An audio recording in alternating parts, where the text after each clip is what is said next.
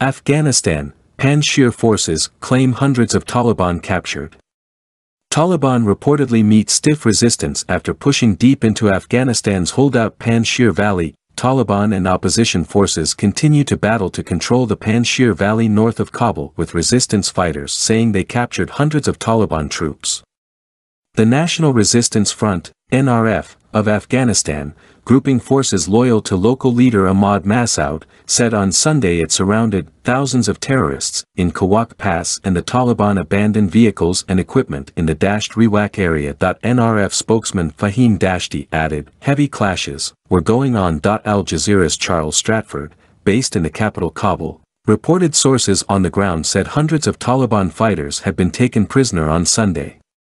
Sources within the valley are saying the NRF are claiming to have captured about 1,500 Taliban.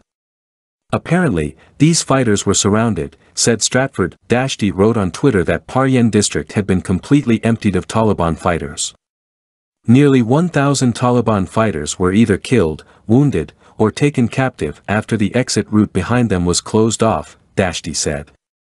The information could not be verified independently. Meanwhile, Taliban spokesman Bilal Karimi said on Twitter on Sunday its forces seized five of the province's seven districts. Karimi said Khinj and Unabah districts had been taken, he said. The Mujahideen, Taliban fighters, are advancing toward the center of the province, he wrote, last holdout. Panjshir is the last Afghan province holding out against the armed group that swept to power last month, both sides claimed to have the upper hand in Panjshir but neither could produce conclusive evidence to prove it.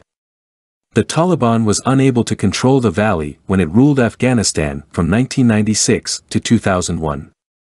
U.S. General Mark Milley, chairman of the Joint Chiefs of Staff, underscored the tenuous situation.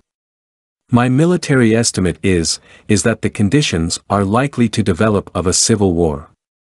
I don't know if the Taliban is going to be able to consolidate power and establish governance, Milley said. If the Taliban cannot quash resistance, it will, in turn lead to a reconstitution of al-Qaeda or a growth of ISIS or other myriad of terrorist groups over the next three years, said Milley. Emergency, an Italian medical aid organization, said Taliban forces had pushed further into the Panjshir Valley on Friday night, reaching the village of Anabah where the group has medical facilities.